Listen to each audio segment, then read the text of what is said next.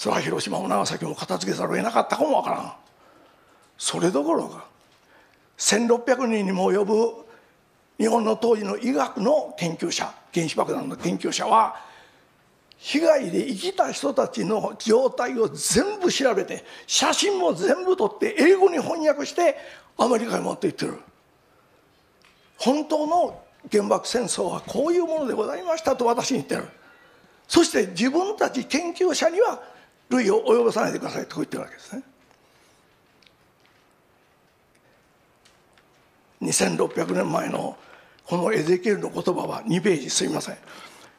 もう一度37の1主の手が後でお話申し上げますが「主」と書いてありましてヤウェイですね。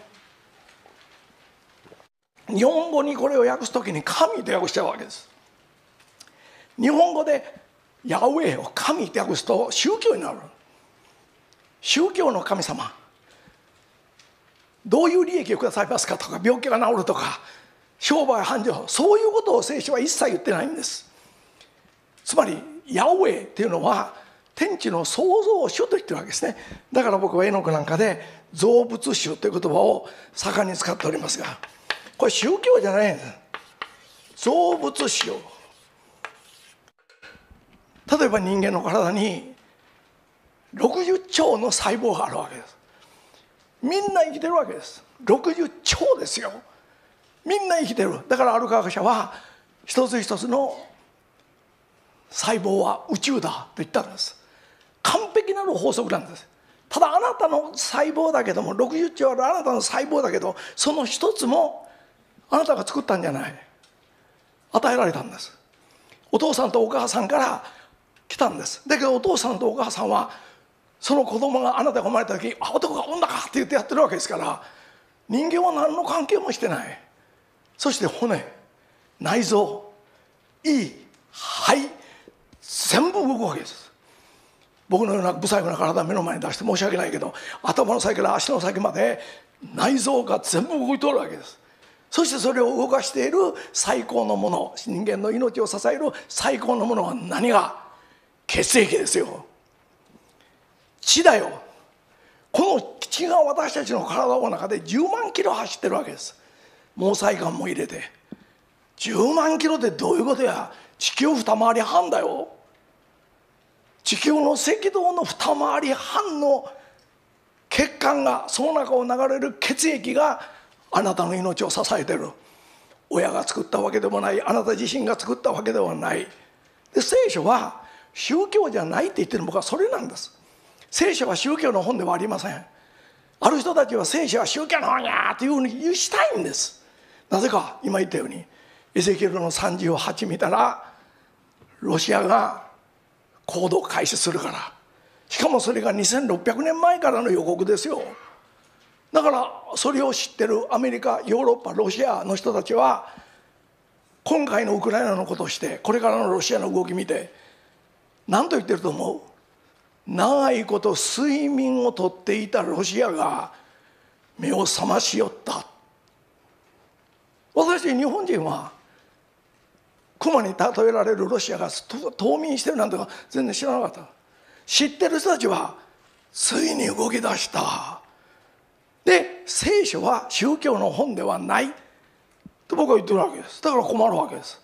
聖書は真実だけを伝えてる。だから困るわけです。だからいわゆる教会と言われるところでエゼキエル書なんか使いません。あまりにもリアルだから。2600年前の文章ですよ。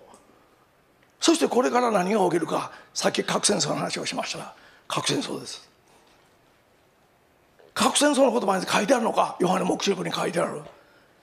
大いなる火が天から下ってそれが炸裂してものすごい炎熱の中でものすごい暑さの中で人々が死んでいくってはっきり書いてありますよ。だから造物主っていうのは人間を作り物を作り地球を空間に浮かせ太陽を与えている源なる生き物があると言ってるわけです。それがやがて何が起きるかということを聖書で言ってるわけです。だから僕は聖書は宗教の本でありませんよと言ってるわけです。ヨハネの黙示録。ちょっと皆さん今エゼキエル書を見ていただいて申し訳ないけども黄色い紙あるでしょ？資料の中に黄色い紙の5ページ。黄色い紙は裏と表になってるんですがその5ページ下のところ。ね？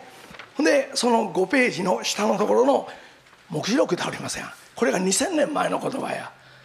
え？その黙示録が789101112と書いてありますが2000年前に何を書いたか第一の見つかりがラッパを吹き鳴らした。すると火の血の混じった氷とヒートが現れて地上に降ってきた。そして地の3分の1が焼け木の3分の1が焼けまだ全ての青草も焼けてしまった。こう書いてあるわけです。その黙示録の7章の第一のラッパのところで。で皆さんこんなこんなあのこと言ってるのやと。もう一遍7第一の見つかりがラッパを吹き鳴らした。すると血の混じった氷とヒートが現れて地上に降ってきた。氷とへえ雪か。そう。雪はパサパサや。氷は何や？硬い。その氷と人が混ざって上から落ちてきて地上に降ってきた。そして地の3分の1が焼け。木の3分の1が焼け。全ての青草も焼けてしまった。なんやこれアホらしい話やな。2000年前のわけのわからん言葉や。そう思う？その上の写真見てごらんなさいよ。ロシア非人道兵器使用かと書いてあってその横に焼夷弾か白リン弾かって書いてある。これこの前のことなんですよ。正確に言うと5月の15日に起きたことなんです。どこで？皆さん覚えてるでしょう？あのロシアの大きな大きな製鉄所のところへこれが起きたわけです。上から降ってきて。テレビで映してたのを見つけて新聞で上やその写真や。ね。その写真の左下15日5月の15日に公開されたウクライナ・マリウポリの製鉄所への攻撃とされる映像。右上見てください。雪みたいにブワーッと降ってきてるやなこれ皆さん新聞なんです。日本経済新聞の新聞なんです。